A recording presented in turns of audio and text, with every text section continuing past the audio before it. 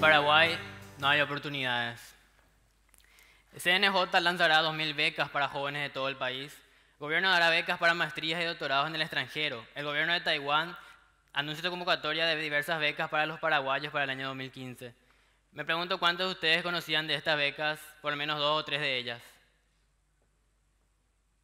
Bueno, un buen número, estamos haciendo un buen trabajo de difusión, parece. Ahora bien, me pregunto por qué tenemos estos enunciados. Becas se pierden por la falta de dominio de otros idiomas. Casi 500 becas de Itaipú quedan desiertas. Recuerdo que hace un par de años atrás estaba en una entrevista para un programa muy interesante, algo que podría haber marcado cosas muy importantes para mí. Todo iba muy bien, Gente Macurila, último ídolo, hasta que en una de esas me preguntan cuál es el mayor desafío que la juventud paraguaya enfrenta. Inocentemente respondí que en Paraguay no hay oportunidades. Y adivinen qué, terminé peor que la selección paraguaya en las eliminatorias pasadas. Hoy en día puedo decir que estoy acá gracias a la oportunidad que me dio nuestro país. Sin embargo, sigo creyendo que en Paraguay no hay oportunidades. Pero no me refiero a las oportunidades de becas, no me refiero a las oportunidades para demostrar mi talento, no me refiero a las oportunidades para abrir mi propio negocio. Me refiero a las oportunidades para ver oportunidades. Y como me decía un amigo, ¿qué es lo que decía otra vez Valentín? Deja poder inventar cosas, por favor. Para eso me, me quería remontar hace unos años atrás, cuando estaba empezando la crisis adolescente.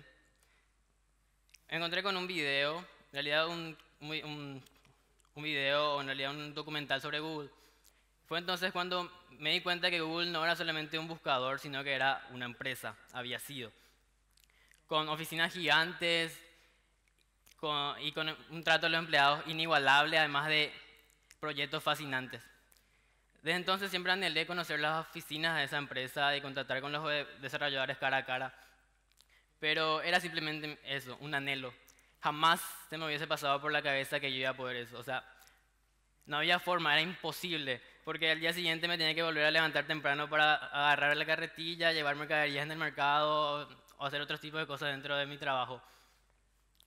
Hasta que dos años después eh, sucedió un evento muy importante en mi vida que, que marcó un antes y un después, el programa Access, que más allá de ser una, una beca para aprender inglés, me enseñó que, más que a pesar de las quejas de, ay, en Paraguay no hay las oportunidades, que pucha, que acá no existe la meritocracia, que las cosas son para los amigos nomás, hay un país, hay un Paraguay, hay un mundo que tiene muchas cosas para ofrecernos, sin importar de qué estatus social te provenga.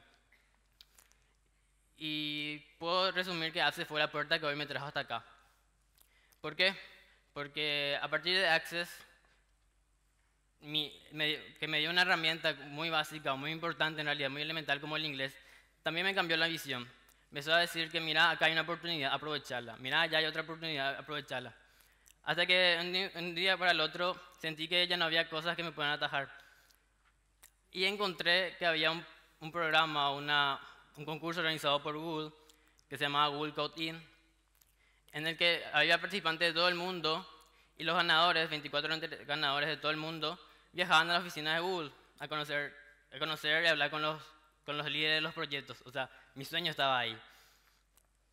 Eh, me animé participé y logramos poner el puntito del, puntito en el mapa del Paraguay.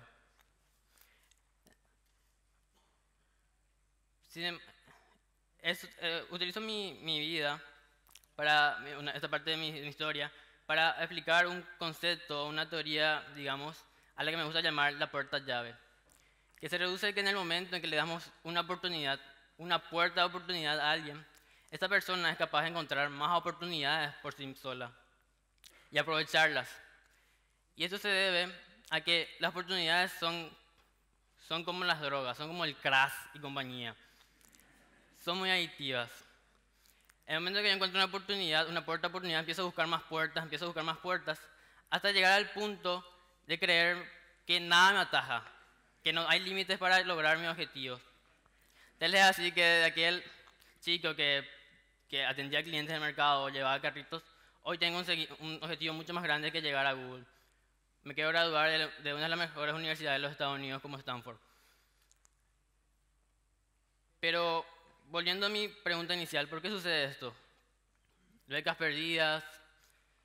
Y, pero me gustaría explicar esto de esta manera. En Paraguay, anteriormente teníamos un desafío muy grande.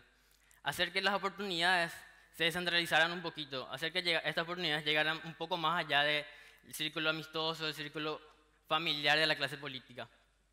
Hoy en día tenemos el gran desafío de hacer que cada paraguayo esté preparado para asumir o para aprovechar esas oportunidades. Y estoy seguro que como cuestión de hecho, mientras más oportunidades aprovechemos, más ofertas llegarán al país. Y además, me gustaría, eh, todos aquellos que, pero esto tiene que ser una política de Estado, donde se enfatice el aprendizaje de otros idiomas como el inglés o las ciencias, em, especialmente matemáticas, entre otros factores. Sin embargo, cada uno, tenemos, cada uno de nosotros tenemos el compromiso de dar esa puerta llave a los demás. Más aún aquellos que ya lo hemos recibido. Y estoy seguro que aquellos que levantaron la mano al comienzo conocían de esas oportunidades por una sencilla razón. Son capaces de buscar nuevas oportunidades por ustedes mismos, pero eso se debe a que ya recibieron aquella primera puerta llave. Y entonces, ¿cómo es lo que hacemos? ¿Cómo es lo que le damos una puerta llave a los demás? ¿Cómo es lo que le, damos esa primera oportunidad? ¿Cómo le damos, le damos esa puerta llave? Damos esa puerta llave cuando invitamos a participar de cursos, de talleres, de foros. Damos esa puerta llave cuando invitamos a hacer voluntariado. Damos esa puerta llave cuando enviamos un link para un curso online. Damos esa puerta llave, no sé, cuando prestamos o damos libros. Damos esa puerta llave cuando le llevamos una presentación sobre becas a nuestros alumnos. Damos esa puerta llave cuando ponemos por delante el vos podés. Damos esa puerta llave cuando damos oportunidades para ver oportunidades. Oh. Y esta es una frase que me gusta mucho que dice, si cada ser humano diera una oportunidad, solo una oportunidad a los demás, todos seríamos felices. Y ese es el desafío que le quiero dejar. Demos esa puerta llave a cada uno de los paraguayos. Y tarde o temprano nos daremos cuenta que aquellos anhelos imposibles se pueden convertir en realidades tangibles. Muchas gracias.